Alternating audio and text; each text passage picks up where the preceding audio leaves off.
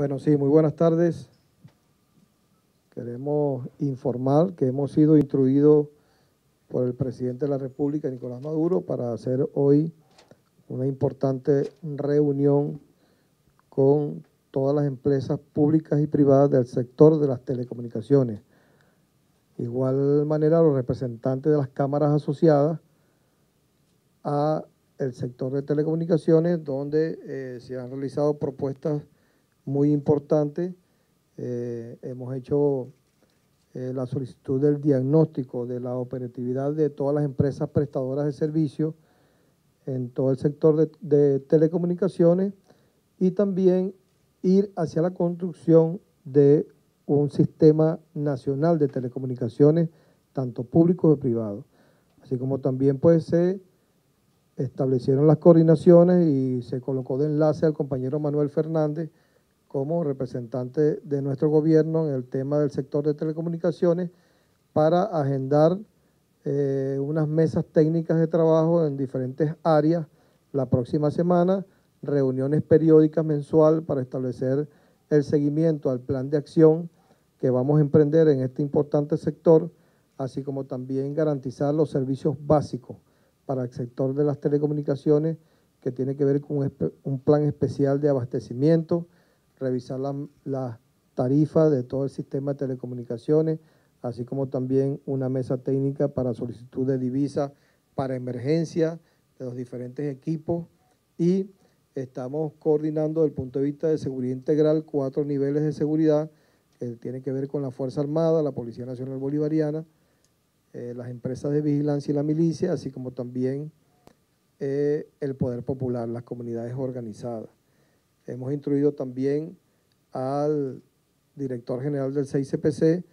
para crear una brigada especial de investigaciones contra robo, hurto, vandalismo y sabotaje de las telecomunicaciones, así como también hemos también solicitado un diagnóstico para establecer en las diferentes regiones del país aquellas limitaciones que tenemos desde el punto de vista de las telecomunicaciones y evaluar también el desarrollo de un proyecto para un sistema fotovoltaico para, las, para el sector de las telecomunicaciones